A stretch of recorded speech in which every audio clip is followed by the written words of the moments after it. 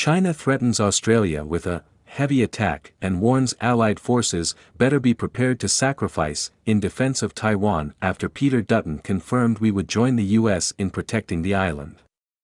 China has issued a chilling warning to Australians declaring a heavy attack would quickly follow if our forces came to the defense of Taiwan.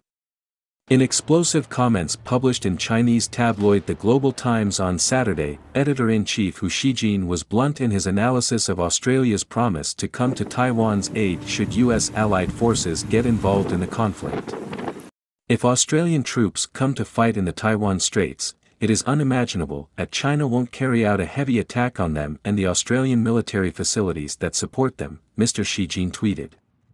So Australia, had, better be prepared to sacrifice for Taiwan Island and the US. The ominous words are believed to be connected to comments made by Australia's Defence Minister Peter Dutton on Friday, where he intimated Aussie troops would step in and help the US if Taiwan was attacked by the global superpower.